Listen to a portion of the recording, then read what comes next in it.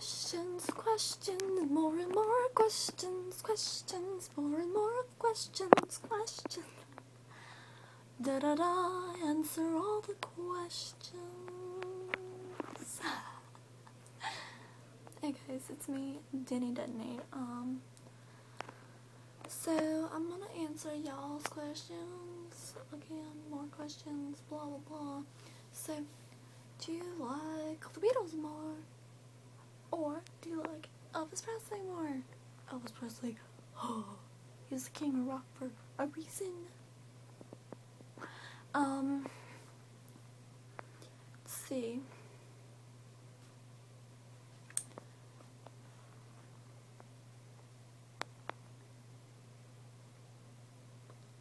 Um, if you could learn any foreign language fluently, what would it be? Probably French. Like French. Just because people say, well, just because, like, it's French. I mean, come on, French. What else is there? Um, maybe Russian. I don't know. I like a lot of foreign languages. Um, I'd say, what foreign food do you like the most? Good lord, I like a lot of foreign foods. Goodness. And besides, this is America. There is no such thing as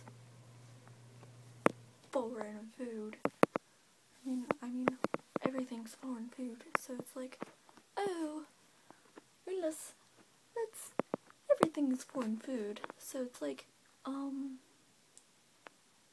the question is, what is your favorite local food? Would be a harder answer because barely any local foods unless you like count corn, bread, cornbread, tomatoes, tomatoes and cornbread. Oh my god, I hate tomatoes. Yuck.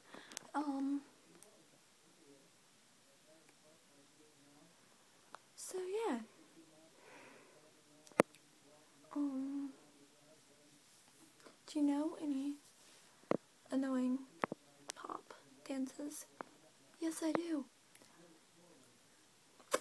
Ice cream freeze, strike your pose. Do the milkshake, shake, shake it down low. Do snow on side, left to right. Yeah, I know their dance. It's pretty easy. Um, drop it like it's hot, drop it like that. Um,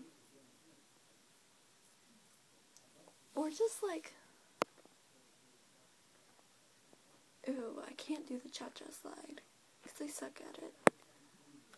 But most of the dances or whatever, I'm pretty good at. Um, yeah, I'm going over now. So, later doll faces. Mwah.